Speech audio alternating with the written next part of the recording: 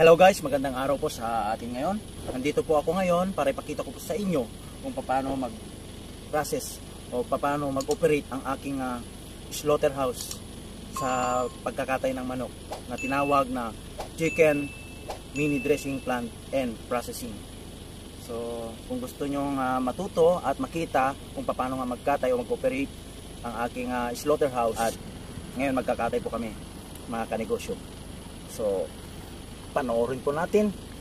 Samahan niyo po ako guys.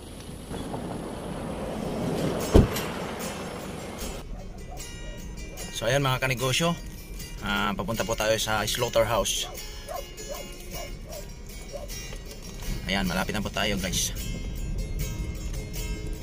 So yan po, yan nakikita nyo po yan. Yan po ang aking uh, mini chicken dressing plant and processing.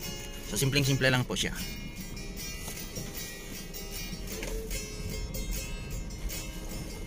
Okay. Andito na tayo at punta tayo sa loob. Tingnan natin. Yan. So, ito po siya. Bali, tatlong kwarto po ito. Yan. Isa dyan. One. Two. And dito po yung pinakaming. Three.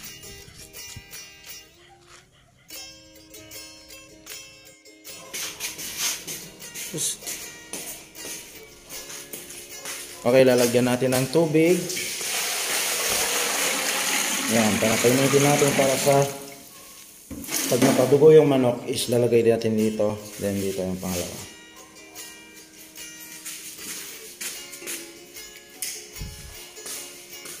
So ito yung tinatawag na killing con. Mga kanegosyo. Yan. Dito natin papaduguin yung manok. Papasok natin dyan. 1, 2, 3, 4, and 5. Tapos magpapainit tayo ng tubig. Okay? Uh, pagkatapos natin mapadugo dito, yan, next step, lalagay natin dito yung kumukuling tubig. Pag kumulo na ito,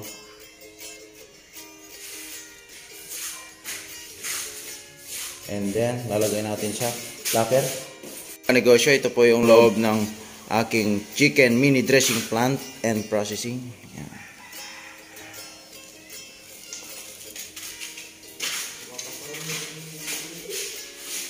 Ayan, papainit ng tubig.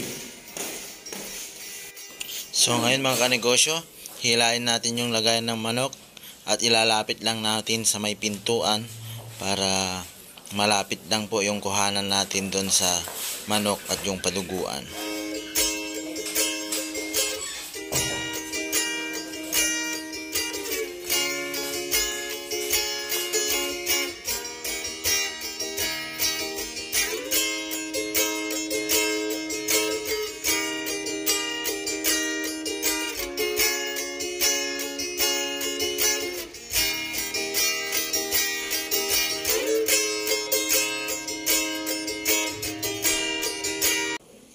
So ito mga kanegosyo, pag uh, pagte-testing natin ng tubig, sasasaw natin yung kamay natin. Yung kaya natin yung init.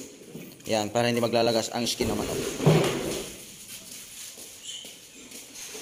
So ayan mga kanegosyo, ilalagay na natin ang manok sa killing con. Yan, ganyan ang itsura para hindi po sila makagalaw. Steady lang po sila. Pag ginilitan na natin ang kanilang leeg. So yan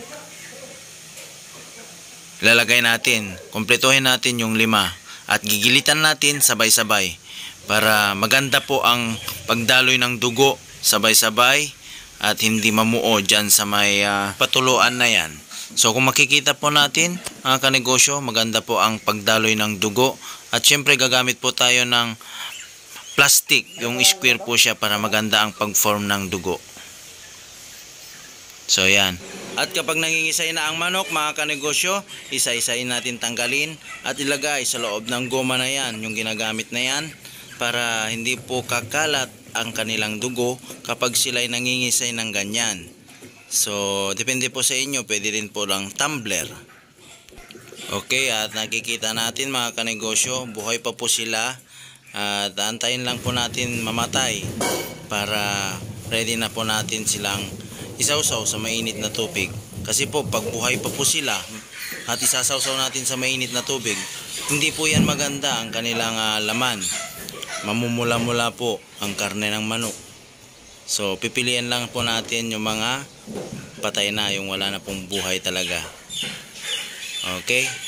Yan, at isasawsaw na natin dyan sa mainit na tubig.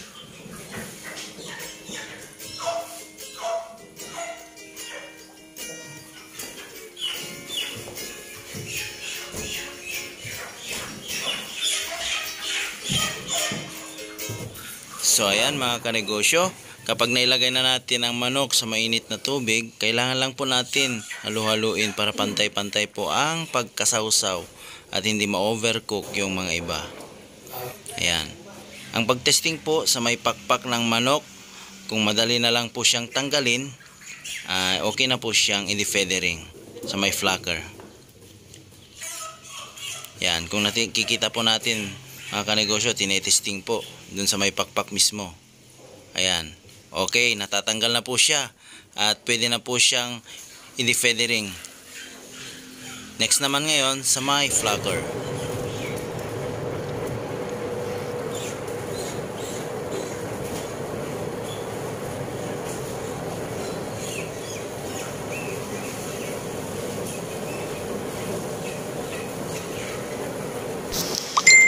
So ayan mga kanegosyo, ito po yung tinatawag na defeathering. Kailangan lang po natin buhos-buhosan ng mga tubig para bababa po ang balahibo ng mga natatanggal dyan para hindi po babara o hihinto yung flacker.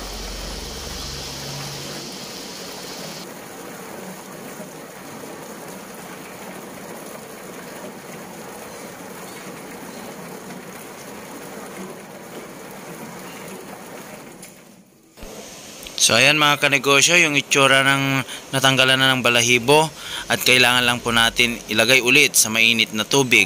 Yan yung mainit na mainit, yung kumukulo po siya para maganda po yung pagkatanggal ng ah, laman loob at saka hindi siya madaling ah, mapanis o masira ang karne. Yan, ganyan po.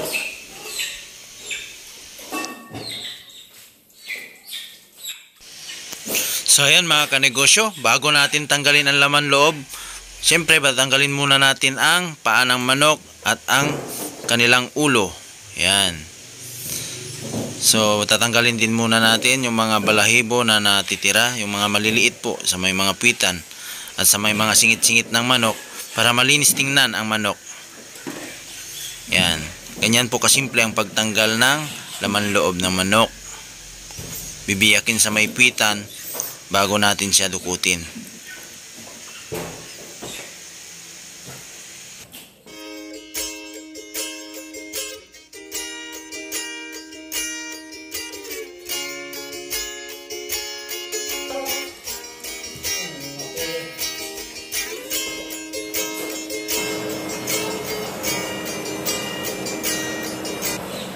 Okay mga kanegosyo, sa isang lamesa, dito po nakalagay yung mga paa, ulo, at ah, yung atay balon-balunan ng manok.